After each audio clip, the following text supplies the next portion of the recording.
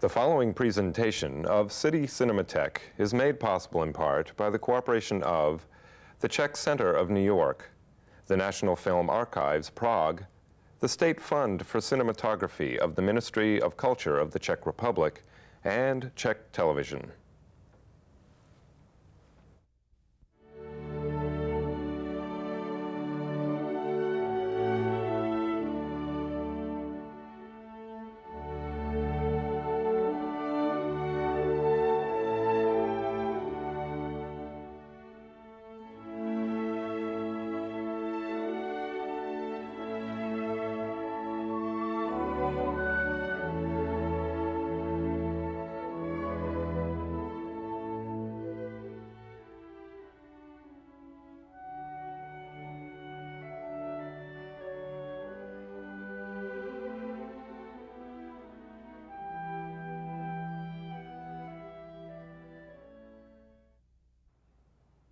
Welcome to City Cinematheque, where the art and pleasure of the movies are the subject of serious discussion.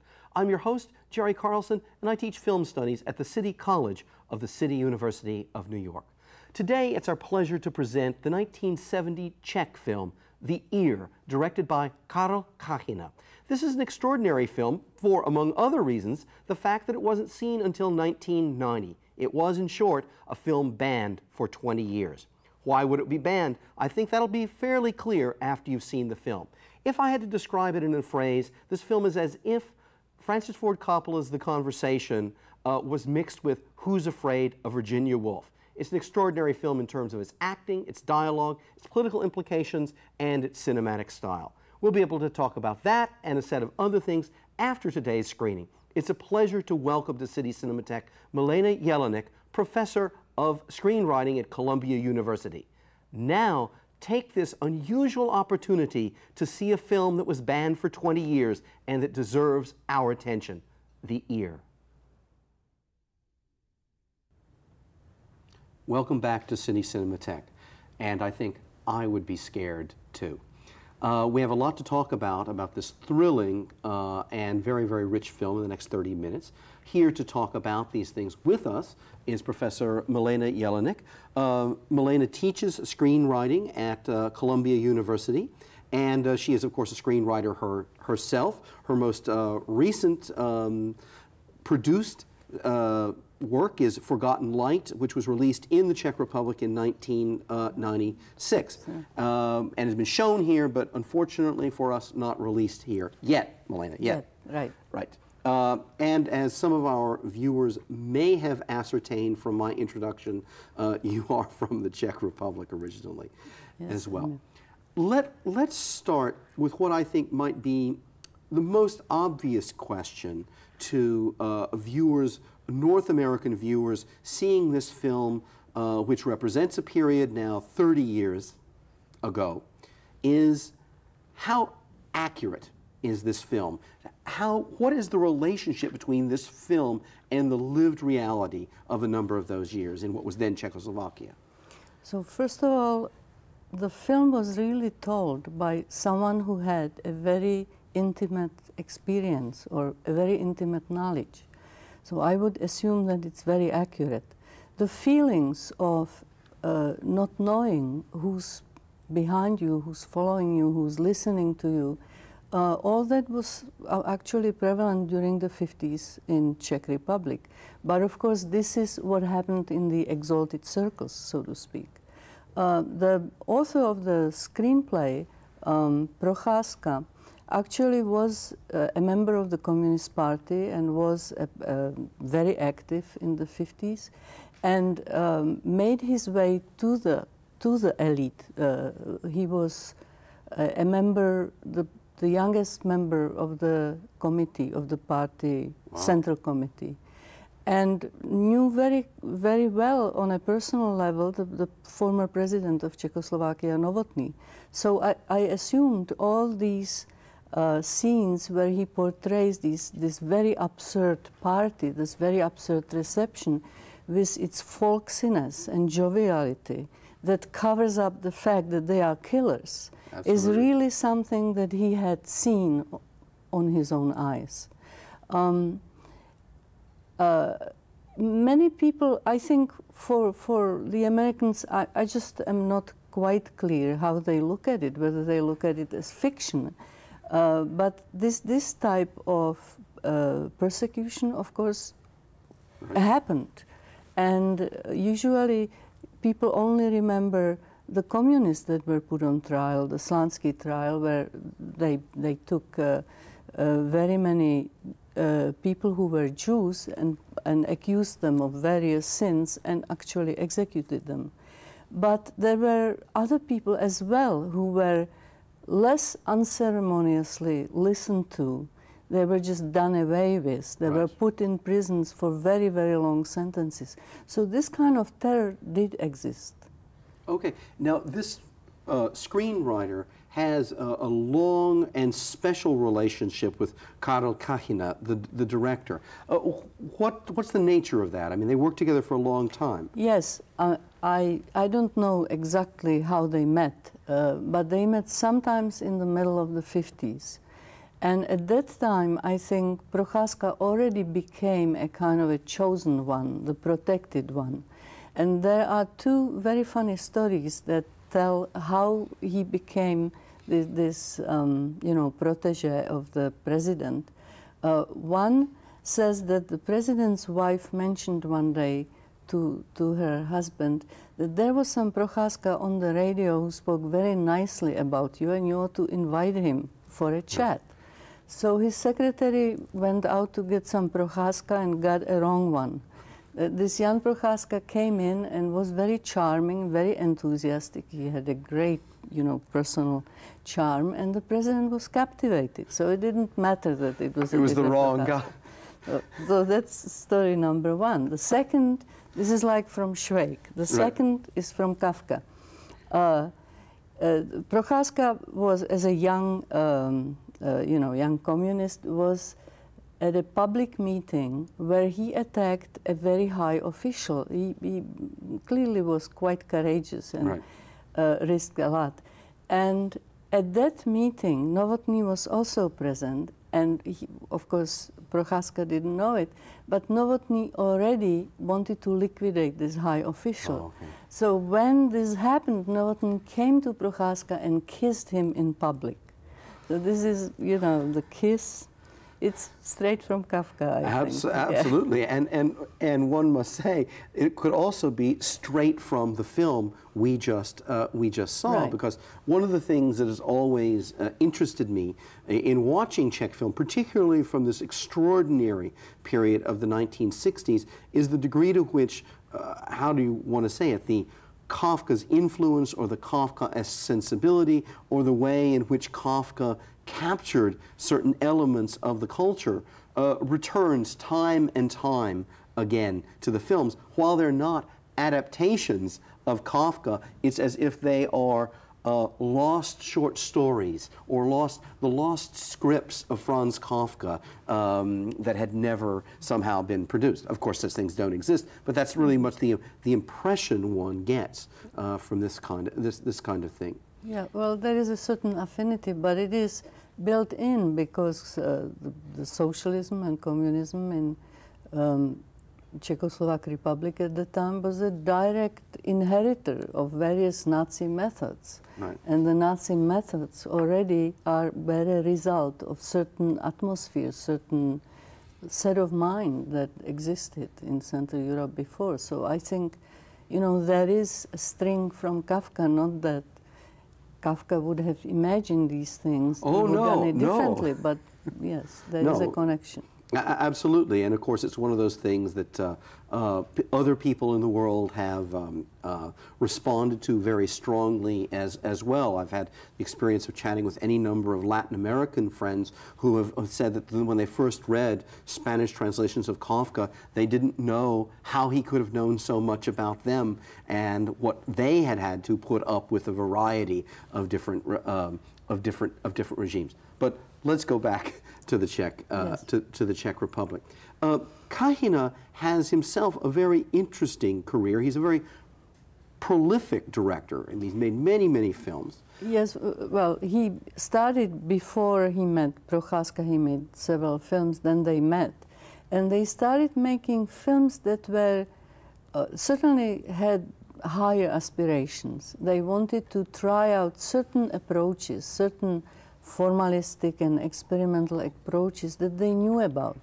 Uh, who is a Czech writer uh, who wrote about them, mentioned that they, they were like a middle-aged new wave. I mean, they were slightly older, Right. very serious, and were working various things through in their collaboration. So they were working for something like maybe 14 years together before they made the Ear. And if you, I think you've shown Long Live Republic. That's correct. Where you could see that the experimental concerns, the kind of inner monologue, the Yes. flashbacks, the slightly altered reality through the flashback, or they already tried there. Uh, the, the kind of approach, the, this, the, you know, the air of disillusionment, the sense of betrayal, and all that is there too. It's just a strange film because it's through the eyes of the young boy. And there, I think, uh, the flashbacks or the, In or the the Republic, dreams yeah. in Long Republic were not as smooth and elegant and organic as they were in the in the uh, in the ear, where I think it's really remarkable how these pieces are joined together, and with what with what irony and exaggeration uh, they portray the world of this elite, these, these, these people who, you know, who appear to them distorted. Absolutely. Just very clear. Well, that's that's one of the things I, I find so interesting about the film is that this is a film that has um, multiple points of view. I mean, not in the in the way of it being uh, large segments like Kurosawa's Rashomon. Here is so and so's story, then here is so and so's story, but rather we have this couple. Uh, clearly, the the husband is the key is the key figure in, uh, in this, and yet we are always drifting between the two. What is the wife observing? What is the husband observing? And then, even within what they observe, the film has different modes of observation. So sometimes, uh, for example, when we have the flashbacks to the party, we have the optical point of view shots in which people come up and address him, but of course we're put in the position of the camera. And so this heightens, and sometimes it's a wide angle lens, so this heightens the sense of the assault and of the, of the, of the absurdity. It also puts us as spectators in the position allied with him, so we're piecing this together as he's piecing it together of, of what was the significance of all of this. Well, it's an expression of fear. He understands that something is happening, but what is happening? He doesn't quite know. For a little while, he doesn't, or at least we don't know in those flashbacks before we get to know that there were some changes uh, among ministers and so forth. And that's very interesting to, to watch. Absolutely, and I, I, I think you're, you're correct on that point, and that is one of the things that makes the experience of this film so unusual because uh, in the American cinema is really quite brilliant, um, and even when it's a, a British American director like Hitchcock, in setting up suspense in which we know that Sigourney Weaver has to get the little girl back from the what I call the space dragon in, in Aliens. But we know exactly that there's the dragon there and that the object is doing this. We know what the task is. We know what the dangers attendant to the task is. Whereas here, we're put in this sense of dread in that something is terribly wrong but the definition of what that is and what its consequences will be is given to us by accretion. And, and, and sometimes the addition of a new piece of information doesn't clarify anything, it merely complicates it. Uh, As I think the rather brilliant ending of the film, which is supposed to be officially when you're told you're, you've just been appointed minister of something, and this is a, an ambitious bureaucrat, clearly, well, that's supposed to be a very happy thing. And the last words are, I'm scared. Because she says, well, how could they appoint you if they have heard these things? So once again, we're at that point in which there are multiple possibilities at the end, none of which are pleasant. No, it's a very unpleasant film, actually. Yes. It's quite painful. I've seen it several times. The first time I was quite taken by it and, and you know, the tension Yes. that is produced is, is very high. The second time I was more aware of of the characters, of of the discrepancy between her and him. And neither her neither the woman or nor the uh, man are very admirable. I mean they are very flawed people. Absolutely. And it's it's and to to see them and you know you go from one point to the other one, you you have almost a feeling just before he thinks that he's going to be now taken away that they at least have some kind of human contact where you finally see them embrace Right. where you finally see them talk as normal people. But then again, it goes aside. Then again, you know, there, there are these policemen who come in, who behave in a terrible way. All of a sudden, he identifies himself with them. Therefore, again, you see a different dimension of him. It's a very unpleasant film to watch. Yeah, yes. Yeah. Now, let's talk about the characters from a perspective that you can add to our knowledge, and I couldn't possibly because I don't uh, speak Czech uh, at all, and I believe there are aspects, there are always aspects of language when it's translated into subtitles uh, that we miss. Nuances of social position, of accent, of region, of, of, atti- uh, uh, of attitude.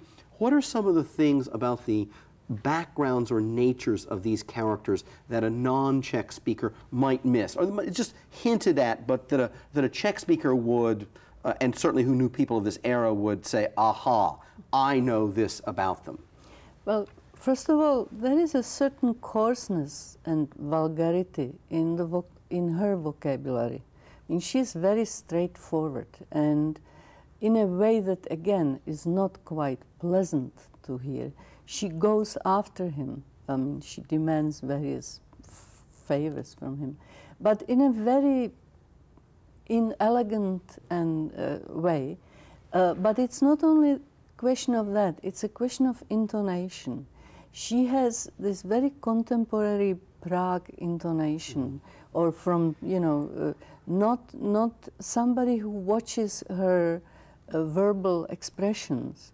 She's marvelously played by this uh, actress Jiřina Bohdalová, who is really s- he- who is still acting and who, who went through many roles.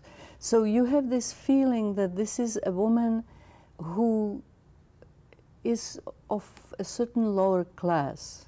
Right. Uh, but at the same time, she has these very genuine, straightforward feelings. She certainly sees through him.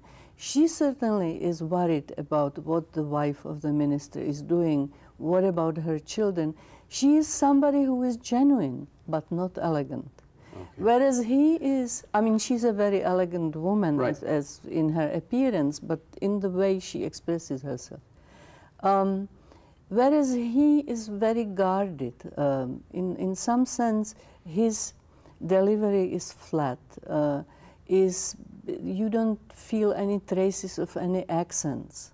Uh, occasionally, through anger, he uses also a kind of uh, put downs Right. more than, than vulgar, but really, you know, the kind of common put down. So it's very interesting to watch these two people. And then it's interesting to watch the elite, the so called president. That's really hilarious. I mean, the mixture, I know that it's not a hilarious film, but the mixture of this kind of folksiness and the stupidity of the ideas, you know, is, is so cleverly observed. Yes, I mean, indeed. It's just, it's just lovely to, to hear. Well, in the case of, of, of the male protagonist, would this be because he is, um, you know, he's, as we've said before, he's clearly very ambitious and has found what he thinks is his path to rise within the power structure of the party, and so he is, uh, in a certain sense, erasing whatever past he would have to sort of neutralize himself because the, the neutral, uh, in a certain sense, can take on the color of whatever needs be taken on at the, at the moment. Yeah, well, he is an apparatchik, so he, he is striving to do what is expected of him to do. And he is probably uh, a, a, the man of the next wave that came over. He is much more of a bureaucrat, much more of the apparatchik. He is Right. not the folksy killer as Right. these other ones were before. Right, and those folksy killers would have been people instrumental in 1948 and then in the purges in the 19 in the 19, in the right, 1950s. right.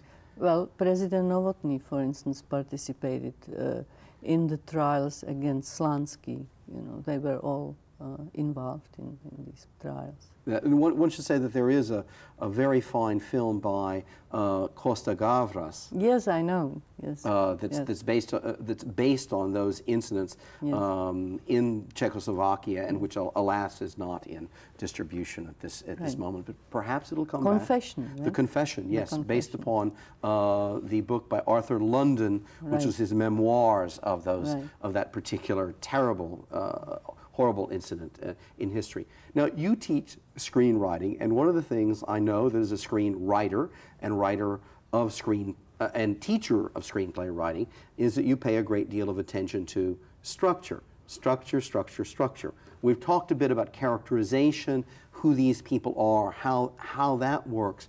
I think this is also a very intricate film in its structure. What do you admire or, or think is most interesting about the film from that angle? Well, first of all, it's almost like a play uh, because of the limited um, environment in the house. Of course, we have the uh, flashbacks that, that add space to it. But it's also very clear conflict that undergoes constant evolutions between these two people. You were right to compare it to Who's Afraid of Virginia Woolf because it's this, or uh, uh, Journey into Night. I Yes. mean, it's it's a it has this intensity of that in in that one night where people have to really look into their hearts and find out who they are, and I think that we do find out. Oh, and I- that's why it's you know that's why this film is so disturbing. And I think uh, one should say it's, it's disturbing, if one wants to say, at several levels. That is, certainly it's disturbing as a chronicle of a set of particular despicable political practices. But at the same time, it's, it's years later, and the way in which that's also the context that reveals who they are as characters is also important. I mean, there, there is to say there's a political drama going on here, but there's also a human drama going on. And the way in which they wrap, the two wrap around one another is constantly, and, and as you pointed out earlier, just at a moment in which you think they've sided on the human, the political enters again with a vengeance, the, the security, drunken security officers uh, show up, or they receive a telephone call, or they discover, uh, you know, the, micro, the, the, the, microphone yes. uh, when they drop when they drop the fork. All of that, and that continues to alter and one. I don't think it's too strong to say pervert the human Right. um, in, in in in those ways. Well, let's go back to, to something about the, uh, the structure of the play-like thing. I was struck by, as I am frequently by the uh, Czech cinema of that epoch and Czech cinema, by the uh, visual sophistication of this, uh, of this film. Because uh, while we're in one space that you could, in a certain sense, you could say, oh, it all takes place in a house, and there's a certain way in which you could maybe rewrite it all into one space. That's not actually how the film takes place. They use the entire house, and I find that um, Kachyna has an enormously dynamic sense of space. Uh, it's, the space always seems inflected. Uh, there's a way in which he's a uh, near expressionist director, that, the, that the, the feelings of the characters seem to be projected onto the space um, as, as well. Uh, so I find the fact that we have the uh, sequences which are so dark, I mean, quite literally because the lights are off. Right. You're, in a certain sense, you're not supposed to do that. Well, um, I think it's built on contrast, right? It's uh, he used it's almost Jungian. They enter through the cellar, they enter through the laundry, the dark laundry, uh, and then they walk up. But that sense of, you know, that the danger downstairs is always present. So I think uh, the play with light, the suspense about, uh, you know, what what happened to the light? How come the lights are over there in the other? Um, that I think works very well. And also, what I think is beautiful that it's black and white because Absolutely. that sense of uh, night, that sense of darkness is there constantly. Well, the, uh, among the many languages I don't speak, German's yet another one, but there is a, a, a word frequently used by um, uh, English language critics, etc., which is unheimlich, which means um, as it's been translated for me, a not at homeness. Mm-hmm. And that comes back to the sense of dread we were talking about earlier because what are they doing in the film is that they are returning to the place in which you are supposed to feel your maximum level of comfort, your home. It is but that's not their home. Oh, that's a government villa. Well, yes, because of the level he functioned. And in fact, you have the first hint that she has that something is afoot is when she tells about this woman, this comrade, somebody who called her and do you know what she asked me whether the house is warm in the winter. That means that that already somebody is speculating that they are on their way out. So the sense, you know, the fact that there is such disorder right. that there is you know that there is all this dirt all this confusion all these things in that house also indicate this is not a beautiful house uh, somewhere in the French countryside that had been occupied for centuries. That's right, yeah. This is exactly how it feels to live in Czech Republic or in Czechoslovakia, where some inhabitants of that villa have perished. Whoever Right. Whatever it was is gone. Maybe they were Jews, maybe the Germans took it over, maybe it then was returned to some original owners. Now it belongs to the, to the government. So again, I think the sense of being lost in that space, you know, not being cozy, not mm. being at home, is actually expressed through through this art deco, which Absolutely. is very realistic. Oh, absolutely. And that's, I think, one of the accomplishments is the way in which these such modest objects within the house become signs of the dread, signs of their of their fear. A question about just a, a little window open or a light or the connection between electricity of the house and the telephone raise so many questions that focus about how how um, perilous, perilous their state, um, their state right. is. Well, I also think we don't have just about a, about a minute. I think we should comment. Um, well, I should just say, is there anything else that you admire about the film that you haven't had a chance to say yet? Well, I first of all regret that uh, the film hasn't been seen for so long because when it's when it was opened in 1990, I think it was already behind everybody. Even the Czechs in Czech Republic feel as if they don't have time to deal with these problems. Yeah, and we, we've had time to show it, but we've now run out of time. If you'd like more information about this series, please drop us a line. Drop it to City Cinematheque, City University Television, 25 West 43rd Street, Suite 1220, New York, New York, 10036. Let me give you that information again drop us a line, drop it to City Cinematheque, City University Television, 25 West 43rd Street, Suite 1220, New York, New York, 10036. Milena, I want to thank you for being here and for bringing the kind of uh, aesthetic, political, and cultural knowledge that we cherish so much in our guests here. It's been a great pleasure having you here. Thank you. And I hope that you join us again here soon on City Cinematheque. Thanks for joining us today.